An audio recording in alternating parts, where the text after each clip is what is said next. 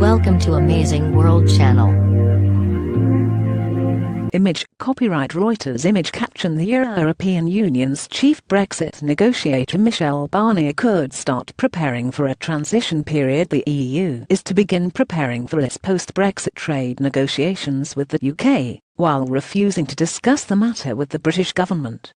An internal draft document seen by the BBC suggests the 27 European Union countries should discuss trade among themselves, while officials in Brussels prepare the details. The draft text could yet be revised.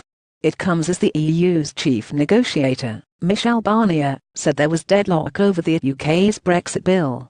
As the fifth round of talks ended in Brussels on Thursday, Mr Barnier said there had not been enough progress to move to the next stage of post-Brexit trade talks, but added that he hoped for decisive progress by the time of the December summit of the European Council.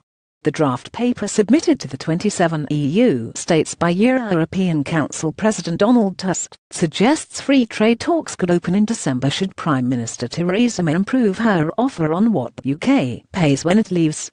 The BBC's Europe correspondent Adam Fleming said that the paper has been described as an opening to the UK to encourage the government to reach a deal with the EU. The document calls for talks about a transition period and the future relationship to move to the next phase as soon as possible.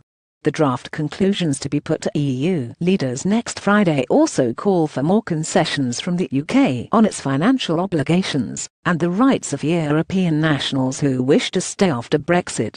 The paper confirms Mr Barnier's assessment that there has not been sufficient progress on three key elements of a withdrawal treaty for leaders to agree to open the trade talks now. But it says the leaders would welcome developments on these key issues the rights of 3 million EU citizens in the UK, protecting peace in Northern Ireland from the effect of a new border and Britain's outstanding financial obligations the Council would then pledge to reassess the state of progress at their December summit. The document states that, in order to be fully ready, EU leaders would ask Mr Barnier and his officials to start preparing now for a transition albeit without actually starting to talk to the UK about it. The European Council invites the Council Article 50 together with the Union negotiator to start internal preparatory discussions, the draft reads. Our correspondent said that would go some way to meet the request made by Brexit Secretary David Davis at the end of this week's talks, when he called on EU leaders to acknowledge the new momentum injected into the process by the Prime Minister's speech in Florence last month.